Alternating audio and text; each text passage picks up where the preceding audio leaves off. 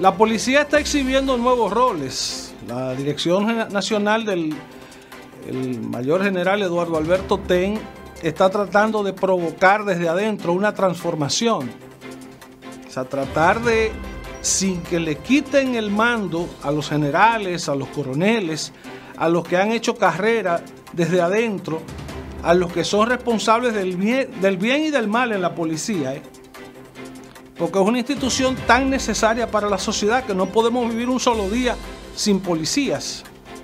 Los policías que nos cuidan, que previenen el desorden, que eh, evitan muchas cosas y que resuelven muchos casos.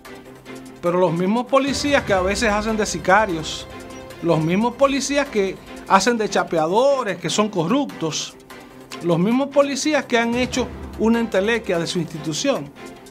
Entonces, la pregunta, ¿cuál es el rol de la policía? El verdadero rol de la policía. Ley y orden, la ley para cumplirla.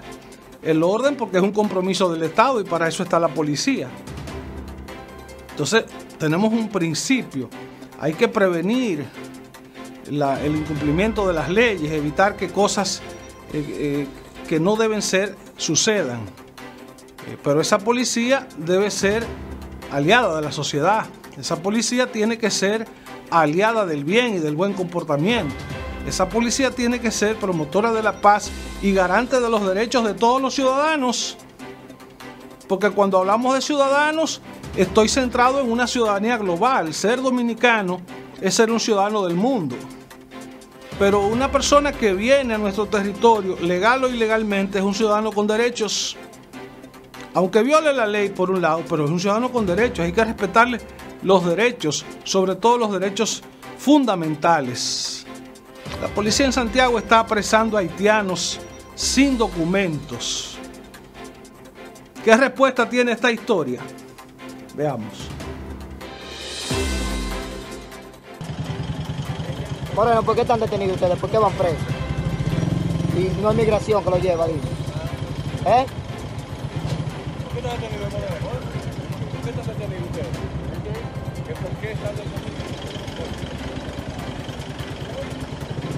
Moreno, ¿por qué están presos si no es migración que lo lleva a ustedes? ¿Por qué lo está recogiendo la policía? chulo. Sí. No, por no, uno cogiendo lucha, que vaya a estar trabajando. Ya.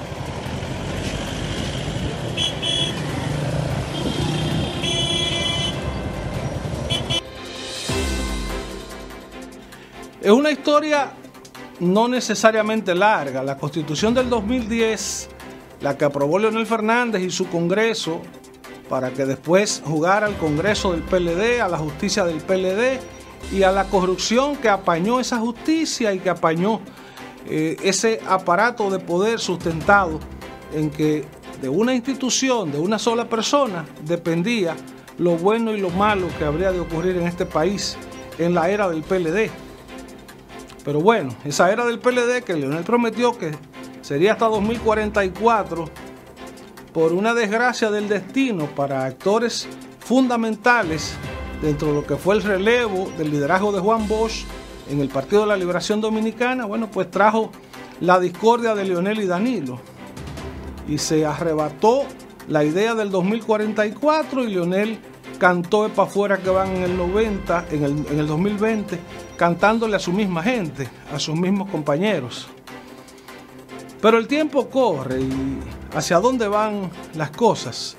O sea, ¿qué es lo que hay que ver de esa constitución del 2010 que promueve tres pactos sociales? El pacto eléctrico, el pacto fiscal y el pacto educativo. Que conviene firmar cuando conviene a un sector. Y conviene apoyar, aunque usted lo haya firmado, cuando conviene. Cuando no conviene, no apoyarlo. Porque ahora resulta que los que firmaron el pacto eléctrico, que firmaron todas las cosas difíciles en lo que se estaba comprometiendo el sector empresarial, el sector político, incluso las iglesias, los representantes de los amplios grupos de la sociedad, estuvieron de acuerdo. Mire, el tema de la electricidad hay que tratar de que esto tenga una solución sostenible. Señores, para todo la calidad cuesta. La sostenibilidad cuesta.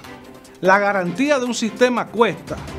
Y resulta que históricamente el asunto de la electricidad ha sido un negocio para pocos actores. O sea, el Estado, el gran perdedor, la sociedad pagando los platos rotos con los apagones y los altos precios de la electricidad y unos cuantos empresarios sonrientes y regordetes, dueños del negocio.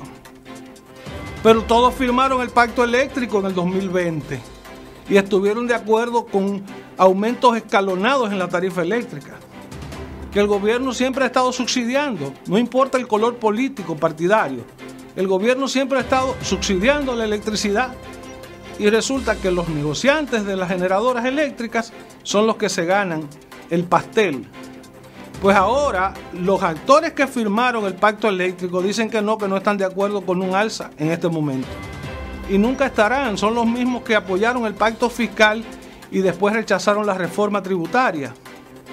Eh, son los mismos que apoyaron el pacto educativo y viven jugando al gato y al ratón con el tema de la educación. En estos días leía un artículo de Diario Libre decía, bueno, la, ADP buscó muchísimos beneficios para la educación, pero después se transó por un 10% de aumento en los salarios de los maestros. No les interesó la calidad de la educación. Recibieron un aumento sin nada a cambio. O sea, voy a recibir un 10% más de paga a cambio de no tener compromiso con la calidad de la educación. Entonces, tres pactos para qué? Un pacto eléctrico, un pacto fiscal, un pacto educativo. ¿Pactar para qué? Para que cuando yo no esté en el gobierno me voy a oponer a lo mismo que yo firmé, a lo que me comprometí. El presidente Abinader con claridad meridiana explica, mire, todos firmamos en el 2020 el pacto eléctrico. Todos estábamos de acuerdo con que cada tres meses iba a haber una revisión de las tarifas y lo mismo que con los combustibles, se iban a reconocer alza cuando fuera necesario. Pero ahora hay actores que firmaron y de manera irresponsable se oponen a los que ellos firmaron. Bueno, pues el pacto eléctrico se deshizo. Que el Consejo de Desarrollo Social vuelva a abordar el mismo tema y vamos a ver si en verdad quienes se comprometen son capaces de respetar sus firmas, sus compromisos. El presidente Abinader explica. Ese pacto que fue firmado por los que ahora dicen que no están de acuerdo y que lo firmaron, lo firmaron en el Palacio Nacional en el 2020 y ahora dicen que no están de acuerdo y, realmente no presentan una alternativa, ya desde hace una semana, si el gobierno ha determinado de detener próximas alzas en la tarifa eléctrica hasta que cambien las circunstancias económicas en la República Dominicana. Por lo tanto, vamos a ir, como nosotros sí actuamos y respetamos los acuerdos que hacemos, vamos a ir al Consejo Económico y Social para readaptar ese pacto con todos los sectores que lo firmaron para que ver ahora también si respetan lo que se firmó